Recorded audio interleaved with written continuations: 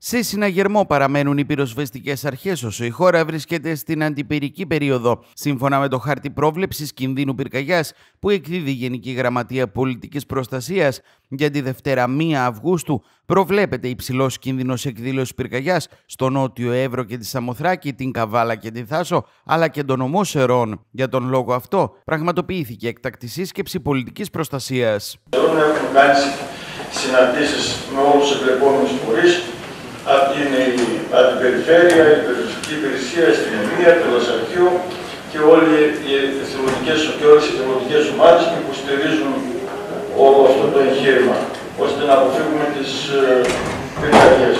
Σε άλλες συνέχειες τις οποίες έχουμε προβεί, ήρθαμε σε επικοινωνία και ήρθαν οι κάτοικοι της Χρυσοπικής, το Προεδρείο τους, σε συνεργασία με την Αντιδημαρχία Φρασίμου και της Καθαριότητας, Ορίσαμε όλα συγκεκριμένη ημερομηνία, ανεβήκαμε πάνω και καθαρίσαμε αυτά που μας υποδείξανε και ό,τι κλαδιά είχε, ώστε να είναι το σημείο εκείνο που δίνει το πιο επικίνδυνο στην κατάσταση που πρέπει να είναι.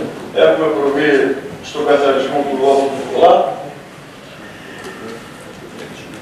Έχουμε συνδράμε την δασική υπηρεσία ώστε να γίνουν διανοίξεις αντιπυρικών ζωνών. Έχουμε μόνιμα υδροφόρα στην πυροσβεστική και οι υπόλοιπες και όλα τα άλλα μηχανήματα του Δήμου είναι σε ετοιμότητα να πάσει στιγμή αν θα χρειαστεί και να ευχηθούμε να μην χρειαστεί. Όσον αφορά τον καθαρισμό των δημοτικών επίπεδων, έχουν καθαριστεί φέτο πάρα πολλά δημοτικά υπόδομα.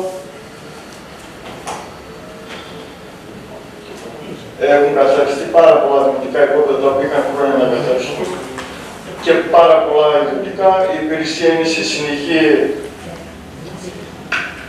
η υπηρεσία είναι σε συνεχή επικοινωνία με τους δημότες που δεν έχουν τα οικόπεδά τους να τα καθαρίσουν. Μέχρι στιγμής πρόστιμο δεν έχει επιβληθεί ακόμη για τη φετινή χρονιά. Περιμένουμε αν θα είναι κάποιος ο οποίος δεν θα ανταποκριθεί στο έτοιμο που το έχουμε κάνει, τότε θα επιβληθεί και το ανάλογο πρόστιμο αφού θα υπέρβει η υπηρεσία να καθαρίσει το υπόλοιπο.